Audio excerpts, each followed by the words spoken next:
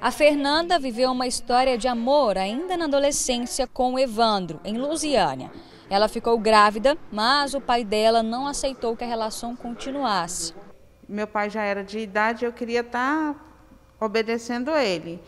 E aí, na época, o meu pai falou que pediu para que eu falasse para o meu namorado, que hoje é meu esposo, que ele fosse e que ele ia assumir a paternidade. Ia assumir a, a minha filha, que no caso a neta dele. E aí, anos depois, no mesmo ano que a minha filha nasceu, meu pai veio a falecer. E aí eu fiquei, esse tempo todo, eu fiquei procurando por ele. Apesar do pai dela ter exigido isso, eu fui embora não aceitando muito. Mas é, eu sempre gostei muito de respeitar os mais velhos. Então a decisão era dele, era pai dela, não poder, não vou levar ela contra a vontade. Eu falei, não, então ela fica e eu venho embora. Fernanda e Evandro perderam contato assim que se separaram. Ela se mudou para Anápolis e ele para Brasília. A Ramila nasceu e durante seu crescimento foram várias tentativas de Fernanda para encontrar o Evandro, só que todas sem sucesso. Quando eu chegava a perguntar por ele, por amigos em comuns ou pessoas que conhecia, falava que ele tinha morrido, que tinha matado ele. E eu ia no, em outro lugar, não, ele morreu, mataram ele em tal lugar. Então, assim, no meu coração eu sabia que ele não tinha morrido, mas. E, e eu sempre falei para minha filha: olha, seu pai, um dia você vai encontrar o seu pai, seu pai é assim, assim. Ela sempre teve muita curiosidade, né? A vontade de conhecer o pai também foi da Ramila, que ainda criança questionou a mãe do porquê não constar o nome do pai na certidão de nascimento. Ramila foi registrada por um amigo da mãe. Desde quando eu era pequena, todo mundo falava: ah, seu pai morreu, você não tem pai.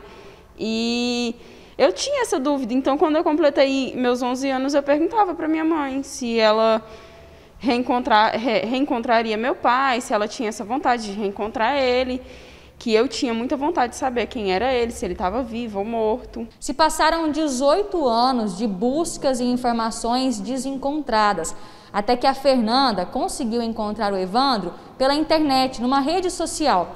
Ela então de imediato mandou uma mensagem perguntando se era ele. Uma semana depois, Evandro respondeu, já intimando ela a ir a Brasília. Eu sou muito ansioso, comecei a ficar nervoso e todo dia, aí passei a todo dia ligar e cobrar para ela vir embora, vir embora, vir embora. Larguei o relacionamento que eu estava, entendeu? E botei na cabeça, a gente se encontrar agora, vamos ficar juntos pro resto da vida. A gente marcou de se encontrar. E quando no dia que eu fui para encontrar com ele, lá em Brasília tem um tem uma faculdade lá, e a gente marcou um encontro em frente a essa faculdade. Aí tem que atravessar uma passarela. E na hora que eu atravessei a passarela, que eu vi ele, que eu abracei ele, aí eu vi uma estrela cadente. Eu falei, ah, era para ter acontecido mesmo. E foi uma surpresa emocionante para Ramila. Ela me, me ligou falando que tinha uma surpresa para mim de aniversário.